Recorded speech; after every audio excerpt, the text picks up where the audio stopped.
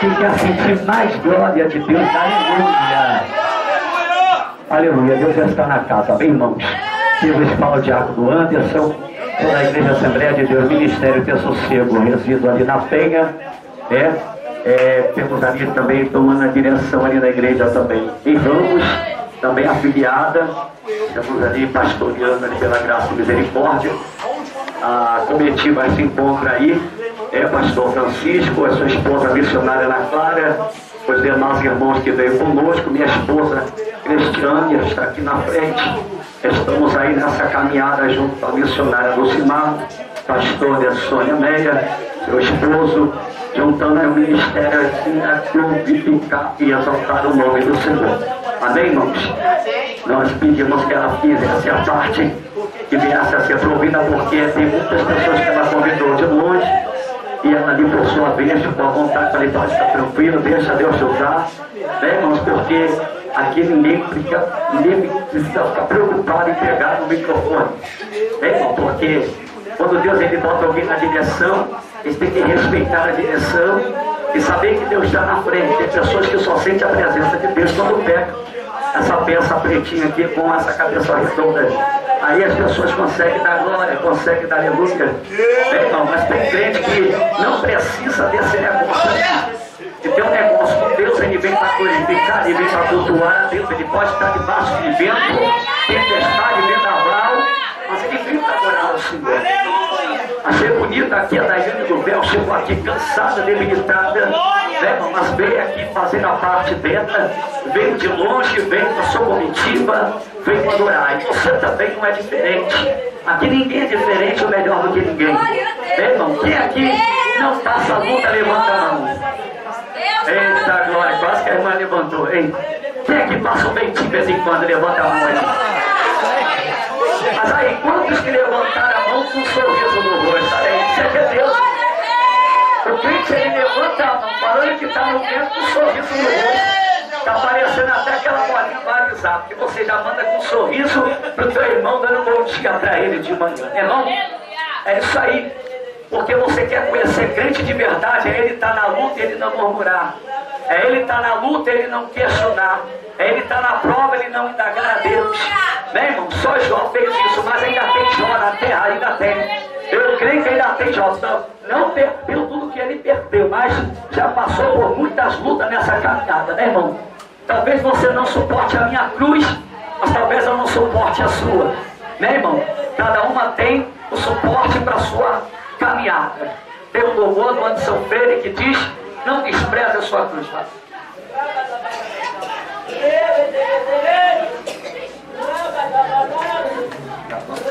Amém. Eu quero que você, irmão, antes de eu dar oportunidade aos irmãos que já estão para ir embora também, tem o meu pastor também, que eles também tem que amanhã, daqui a pouco ele tem que estar fazendo algumas coisas. Eu queria dar uma oportunidade ao meu pastor, para que o povo também possa conhecer. Glória a Deus. Aleluia. Então quero pedir você nessa madrugada. Pode a mão no seu coração em nome de Jesus. Todos deu muito lugar nessa madrugada, já marchou com o varão, cortou o braço. É, irmãos? Mas vamos levar o nosso pensamento agora para Deus e esvaziar a nossa mente naquilo que ainda te preocupa, naquilo que ainda te entristece. Talvez você chegou hoje aqui precisando ser carregado no colo. Aí você chegou aqui hoje, passou por você um levita, passou por você um sacerdote, passou por você um profeta, que não botou azeite nas tuas feridas, não tratou conforme Deus ele mandou, cuidaram dos outros, amaram um ao outro, como a ti mesmo. Talvez você na tua caminhada ainda não encontrou um irmão de fé que venha te ajudar na sua caminhada em oração. Mas eu quero dizer para você, em nome de Jesus, essa pessoa que está do teu lado, ainda que ela não te conheça, não sabe o teu endereço, a partir de hoje, você vai fazer parte da página da oração dela, em nome de Jesus, porque eu sinto o amor de Deus nesse lugar. Deus me deu uma palavra, irmão, a respeito de amar o seu próximo como a ti mesmo, amar o seu irmão. E estamos vivendo tempos, irmão, que muitos estão muito preocupados com a sua própria, com a sua própria vida e esquecendo do seu irmão. Quando na verdade nós temos que nos preocupar com o nosso irmão. Às vezes a pessoa está dirigindo um trabalho, pastor, ou um dirigente, seja ele diácono, seja ele presbítero, seja ele missionário ou missionário, mas ele tem uma cruz pesada que precisa muitas das vezes de ser ajudado a carregar aquela cruz. Até Jesus precisou de alguém para ajudar ele até o Monte Caveira. Olha que o nome que terrível, hein? Monte Caveira. Né, irmão? Imagina aí você que somos falhos demais. Mas essa madrugada, irmãos, não é só uma madrugada de um poder para você só marchar e pular, é para você também sair daqui com uma novidade de vida. É para sair daqui também pensando diferente. Muitas das vezes você tem o seu vizinho, mas não dá um bom dia para ele. Tem alguém da tua família que você não olha para a cara daquela pessoa, não perdoa. Porque simples fato dela ter magoado e pisado no teu carro, talvez no carro que estava mais querido, e aquela pessoa dentro da tua casa pisou. E você está esperando a hora e o momento dela vir até você e te pedir perdão. Eu passei por algo, irmão, por esses dias. Eu chorei dentro de um enterro. Chorei porque eu perdia uma grande oportunidade. E essa oportunidade eu pedi, eu queria muito muito mesmo que ela voltasse para mim. Mas era tarde demais. Era tarde demais. Ela não pode mais voltar à oportunidade. Por quê? Porque o que vai, vai.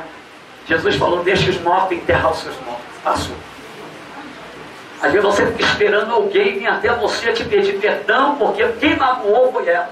Quem te afrontou foi ela. Às vezes a gente pegamos o microfone, pegamos a mão e não vivemos a mão pregamos o poder de Deus e não estamos lá com tanto poder de Deus. Pregamos um avivamento e na verdade o avivamento não é só você marchar e pular e rodar. O avivamento é você aprender a olhar na cara do teu próximo e dizer para ele, eu te perdoo com as tuas falhas e te amo do jeito que você é. É arrancar a máscara e a hipocrisia. E muitas das vezes a gente carrega dia e noite com a gente entra dentro da nossa casa, bota a máscara, sai de dentro, bota outra máscara. É uma máscara para cada lugar que nós vamos. É verdade ou é mentira? Por que, que eu estou falando isso?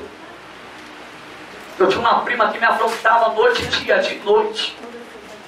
Ela morava de frente para minha casa todo dia, me afrontava, acordava às 6 horas da manhã, cantava um bolinho, quando na verdade ela nem estava com tanta vontade de cantar, porque nem convertida ela era. Mas ela tinha o prazer de fazer barulho no, no quintal que nós moramos, só para ter o prazer de afrontar. E uma certa feita, irmão, eu confrontei com ela. E não aceitava a situação, não aceitava aquela atitude. Eu discuti com ela, feio. E passou um mês, dois meses, três meses, quatro meses, cinco meses, seis meses. Interessante, irmão, que quem me afrontou foi ela, quem me entristeceu foi ela, mas Deus sempre falava, vai lá, meu filho, fala com ela, pede perdão para ela. Desce, meu filho. Vai lá. Vai lá, meu filho. Passava por ela, ela estava no telefone, na escadinha do quintal, e eu passava, voltava, passava e nada de falar. Quando foi o base de 15 dias atrás, vamos descobrir que ela estava dentro do IML, numa gaveta gelada. Há 12 para 13 dias já morta, com três tiros. Saiu de casa, ela estava na igreja, caminhando. Saiu de casa teve um, uma pequena vontade de voltar a usar as drogas. E ela veio do mundo de prostituição. Antes dela ter ouvido do HIV, Deus me usou para ela dizendo, Luciano, vigia, porque Deus vai permitir o teu sangue ser contaminado, para que você possa ficar firme na presença de Deus. Ela não vigiou, o sangue ficou contaminado, mas mesmo assim, irmão, Deus teve amor e misericórdia. E ela permaneceu ali. Poderia ter morrido. Eu vi pessoas de AIDS, com AIDS, vírus do HIV, morrer e ela não. Ela foi para o crack. Ficou meses fora de casa, nada aconteceu com ela. Depois ela começou a caminhar. Estava até bem, tinha uma mania de mudar o cabelo toda semana. Uma vez era loiro, outra vez era castanho, outra vez era preto, e daqui a pouco era curto, daqui a pouco emendava um cabelo fio, um fio lá embaixo e assim. E ela vivia a vida dela. Só que Deus falava, meu filho, vai lá. Pede perdão você, já que ela não vem, vai você. E eu não fui.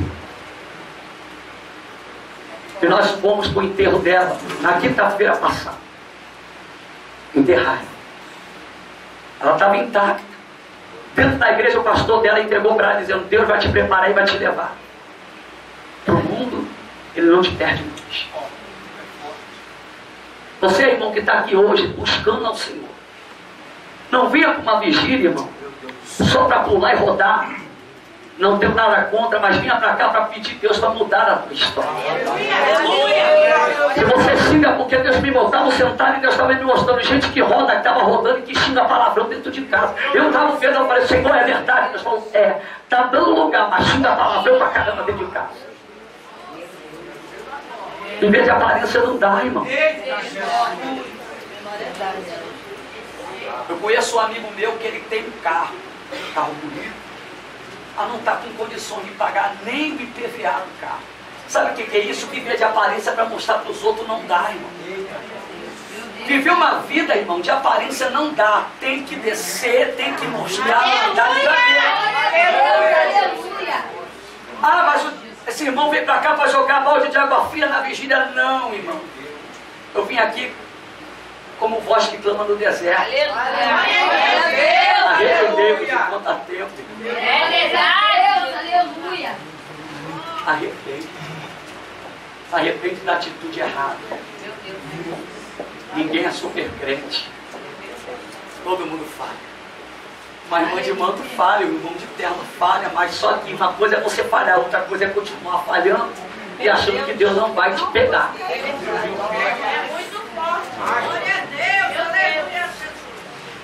Alguém pode sair daqui até murmurando de mim, não tem problema, irmão. Mas o recado de Deus eu vou te dar dessa maneira hoje. Aleluia! Lembra do jovem que foi na cidade e Deus falou, não come nada de lá, não pega nada, não aceita nada, não, não só vai passar lá de só passar. Porque se for passar e pegar o comigo, fazer qualquer coisa que eu não mandei, não ordenei, vai ficar por lá. Aí o profeta velho ficou de olho no profeta novo falou, ei, é ele mesmo. E fez o profeta novo ficar por lá. Só que lembra que o leão matou, mas não devorou? No dia do enterro da minha prima, quem, irmão, você já viu uma pessoa, um tio meu que se enforcou, mas não morreu por enforcamento, mas por overdose, quatro dias já estava verde igual o.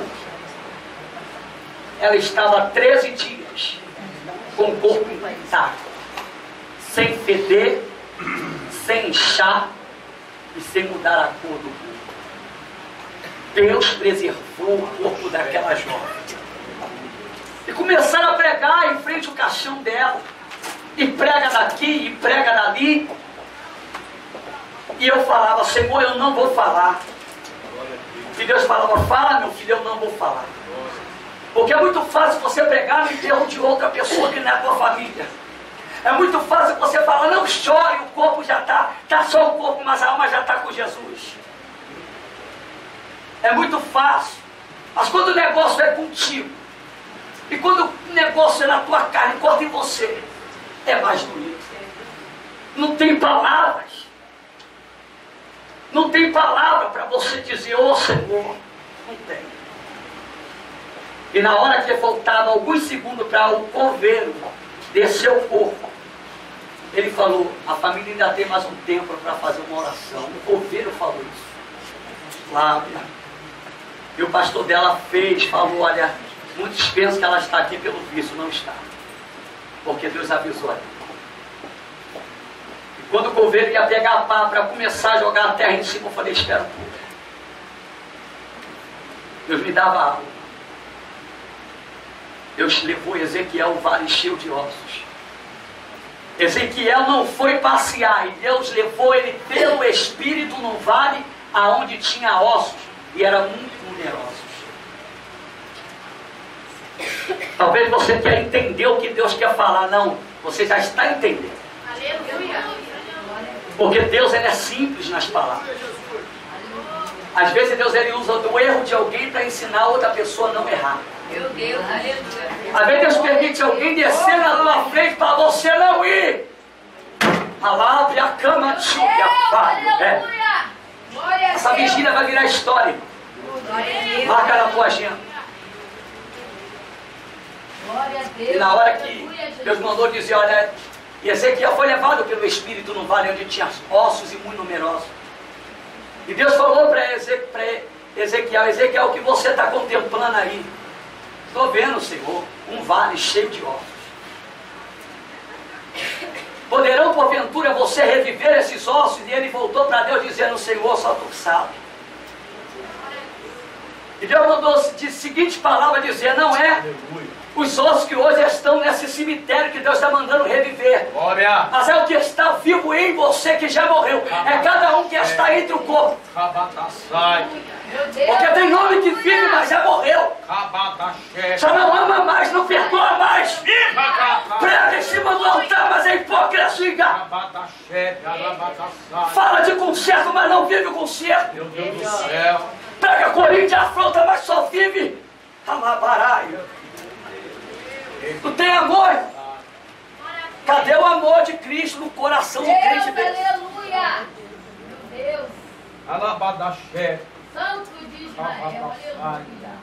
Abre o céu. Uma pessoa católica falou assim: para ser crente assim eu prefiro não ser, lá no centro não é desse jeito. Só porque escutou, escutou um corim de afronta de um crente para outro. Isso aonde eu estava dentro da minha congregação, tinha um corim lá, comendo doido. Mas sabe o que que é isso, irmão? Às vezes Deus ele usa a boca de um jumento, de uma pedra, ou até de uma pessoa que não é crente. Só para te instruir a andar direito. É. Uma pessoa, uma jovem que eu a falava, ela é maluca.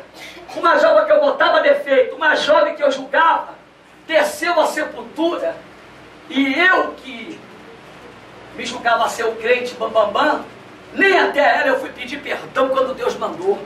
Não tive a capacidade de descer. Deus, aleluia. Sabe o que que Deus está falando para mim e para você? Tenha capacidade para descer.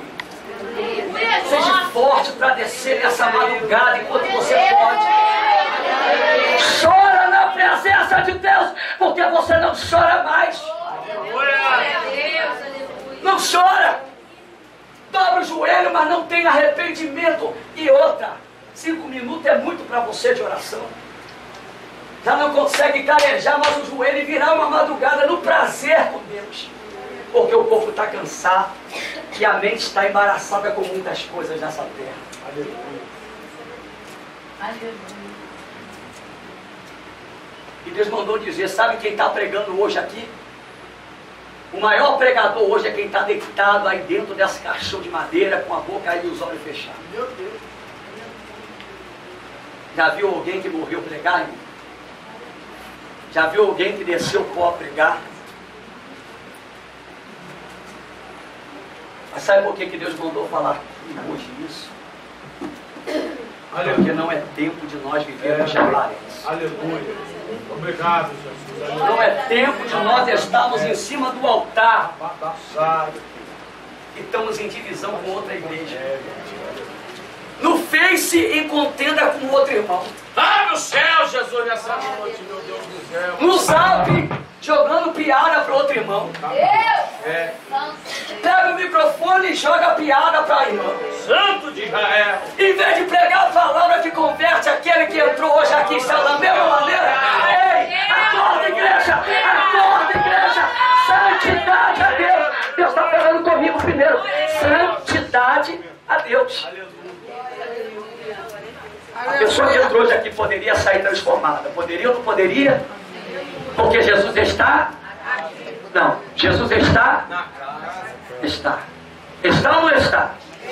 Se tem mover de Deus, Jesus está. Mas se algo não aconteceu, então defeito não está na pessoa, está aí. Porque a Bíblia diz que em nome de Jesus os demônios têm que sair. Mas se eu estou pregando Jesus e estou vivendo, aí vai obedecer. O demônio vai ter que sair. Se eu estou pregando o evangelho verdadeiro e genuíno, Se eu botei o pé, o demônio não pode ficar. Acabou. O que Deus está mandando eu trazer para a igreja é aquilo que te traz arrependimento. Aquilo que te traz a esperança novamente. Tem alguém dentro da tua casa que tu deixou de amar. Esposa que já não ama o seu próprio marido. Marido que não ama mais a sua própria esposa.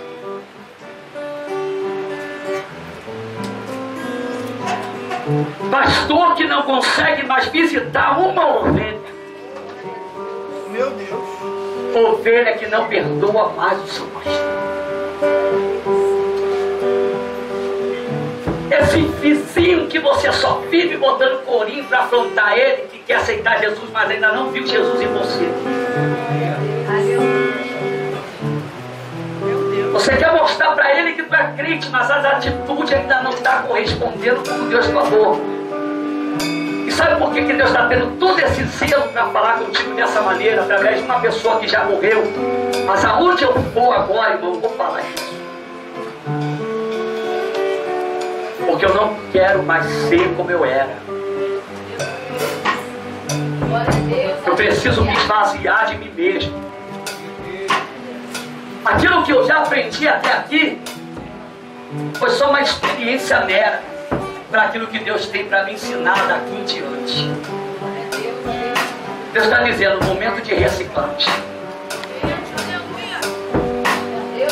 O que, que você tem hoje dentro do teu coração que precisa ser reciclado? Talvez você está olhando para mim dizendo, olha, eu não tenho nada, eu estou bem com Deus, amém?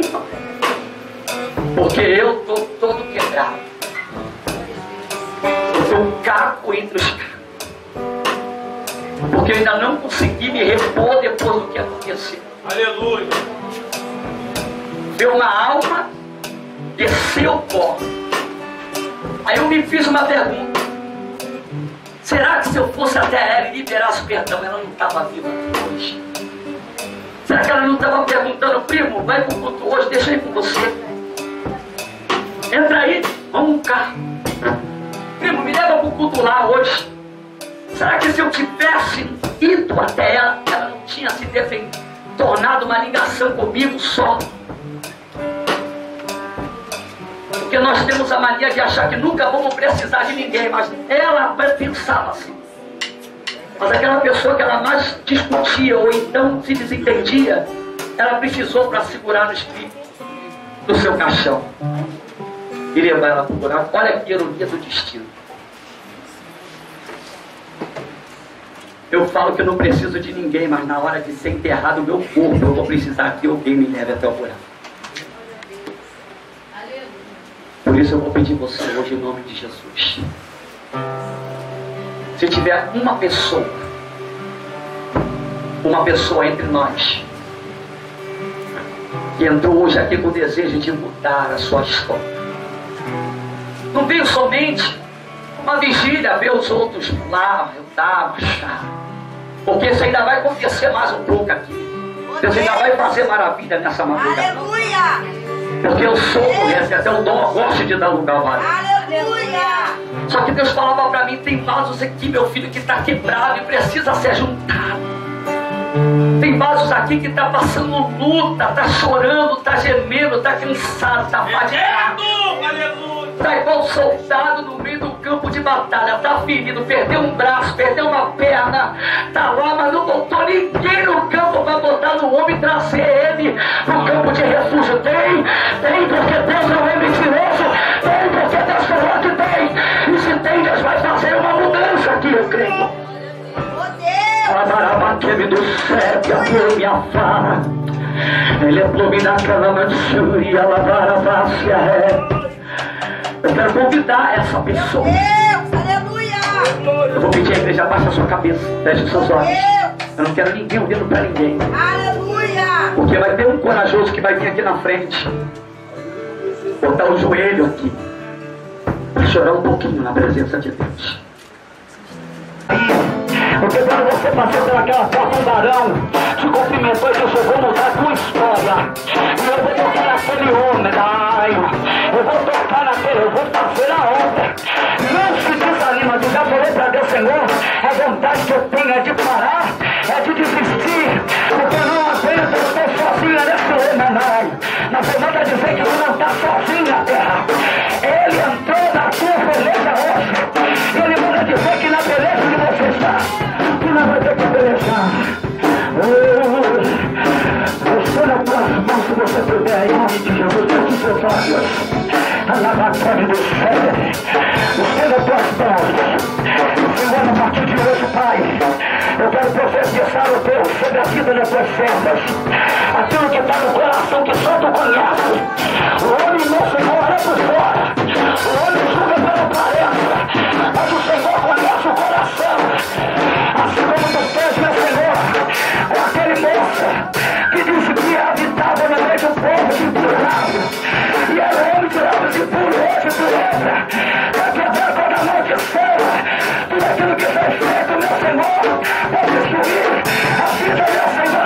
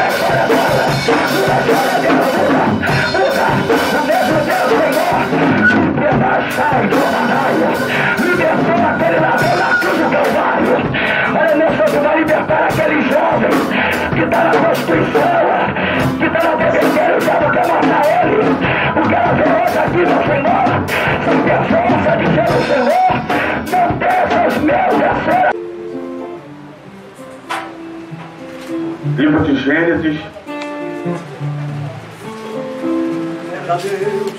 capítulo de número 37. Livro de Gênesis, capítulo de número 37. Livro de Gênesis, capítulo de número 37. Quantos encontrar, diga graças a Deus. Meia dúzia. Quantos encontrar, diga graças a Deus. Versículo de número 5. Diz assim: Sonhou também José um sonho e contou a seus irmãos. Vamos repetir, irmão. Todo mundo junto, quando falar um, dois, três, vamos lá. Sonhou José que contou. Vamos contar de novo, irmãos. Eu falar um, dois, três. Sonhou José Todos os seus irmãos. Amados e queridos irmãos, estamos aqui diante de uma passagem, uma palavra bastante conhecida, onde a Bíblia Sagrada vem relatando a história de um homem chamado José. Todos nós sabemos que José, ele era um homem que tinha sonhos. José era um homem que tinha projetos. A Bíblia diz que o seu pai Jacó o conhecia porque Jocá também era sonhador. Então José era um homem que tinha sonhos. Fala para o teu irmão, José tinha sonhos. José era uma pessoa que tinha sonhos. A Bíblia diz que os seus sonhos incomodavam os seus irmãos. E o que me chama mais a atenção, que o seu pai fez uma túnica de várias cores. Porém, segundo estudiosos, A túnica só dava nele. A roupa só dava nele. A vestimenta só dava nele. Sabe o que, é que eu aprendo com isso? Muitas pessoas estão querendo pegar aquilo que não é. Mas Deus está dizendo: só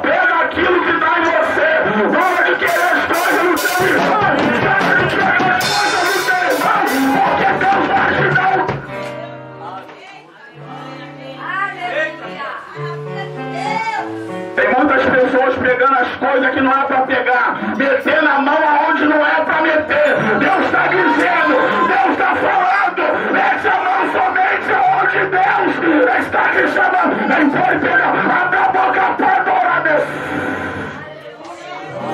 Ô, glória! Bendito Muitas pessoas querendo pegar as coisas dos seus irmãos. Muitas pessoas querendo roubar a cadeira do seu irmão. Jesus está dizendo nessa manhã: pega aquilo que é teu, mas se quiser roubar a cadeira, pega a cadeira. O que não pode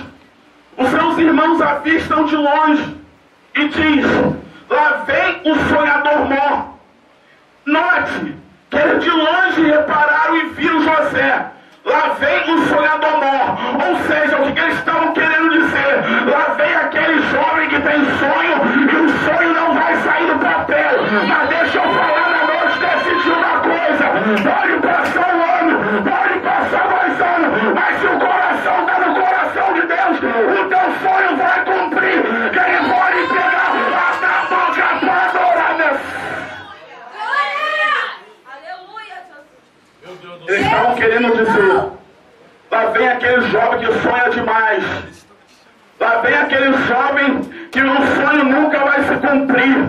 Lá vem aquele jovem que o sonho não vai sair do papel. Mas Deus está dizendo nessa manhã: se o teu sonho é de Deus, volte a acreditar, porque vai cumprir. Quem pode pegar, a boca e dá glória a Deus.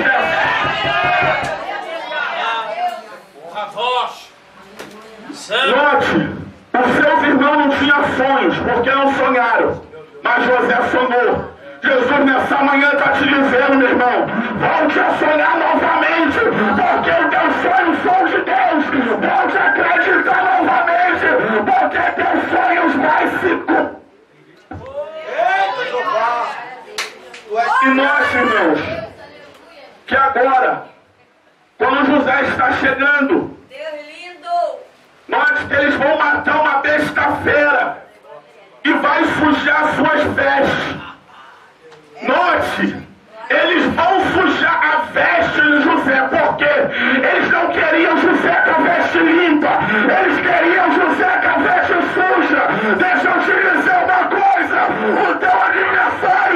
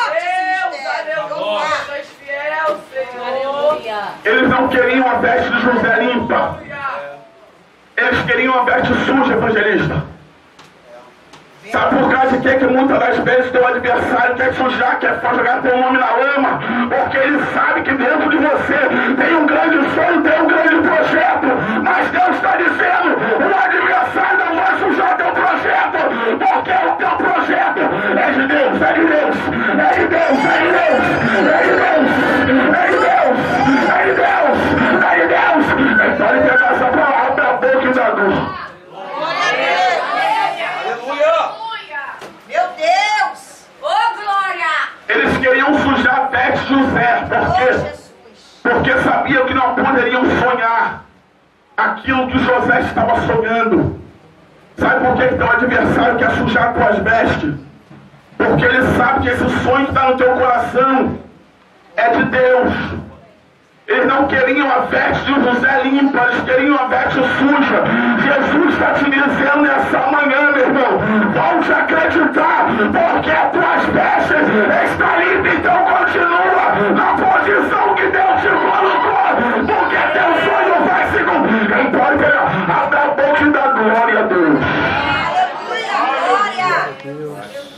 Irmãos, eu quero finalizar. Bendito é o Cordeiro. Agora estava passando uma caravana, estava passando uma. Caravana. Meu Deus, muito fraco. Estava passando uma. Estava passando uma. Estava passando uma caravana. E eles tiveram uma ideia. Qual é a ideia? Vamos vender José. Vamos vender José. Vamos vender José. Agora a Bíblia diz que na caravana tinha óleo, bálsamo e mirra. Entendeu não? Na caravana tinha óleo, bálsamo e mirra. Entendeu não? O Espírito. Irmãos, a nossa igreja não está faltando pregador, pregador tem demais. Está faltando pessoas que tenham óleo, bálsamo e mirra. Quem tem óleo, bálsamo e mirra faz a diferença. Sabe o que Jesus estava dizendo? Aonde José for, vai fazer a diferença.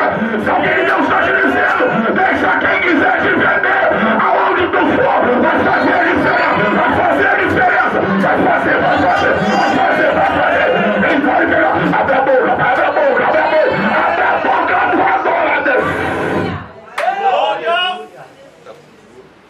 adversário quer te vender, irmão. Mas não tem problema. Aonde tu for, tem óleo, ei. bálsamo e mirra. Ô, glória. Aonde tu for, a presença do Senhor está junto. Ô, glória. Aonde José ia, a presença de Deus ia. Aonde José metia a mão, a prosperava.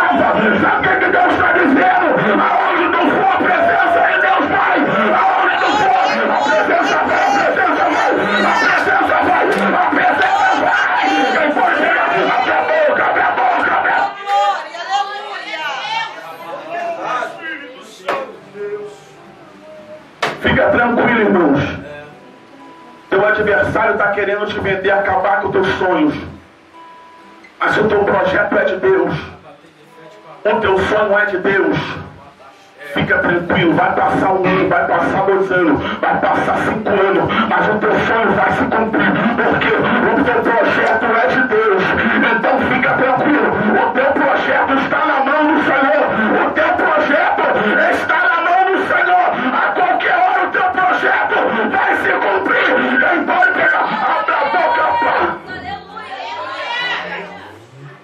finalizo aqui, irmãos. Louvado seja Deus. Eita, Jeová. José sonhou. O copeiro sonhou. Todo mundo sonhou.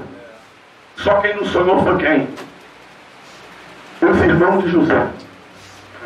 Sabe por que, que eles não sonharam? Porque invejoso não sonha. Invejoso tem projetos, mas não sonha. Invejoso inveja o teu projeto, inveja o teu sonho. Mas Jesus está dizendo: Ei, o teu projeto está na mão do Senhor. Deixa o invejoso sonhar. Deixa ele projetar. Porque o teu sonho vai se cumprir, vai se cumprir, vai se cumprir. Deixa quem quiser falar, irmãos. O importante é você continuar sonhando. Me ajuda a finalizar. Fala, continua sonhando. Tá fraco, fala, continua sonhando. Fala, continua sonhando. Irmãos, continua sonhando, porque através do sonho de José, ele se tornou governador. Então fica tranquilo.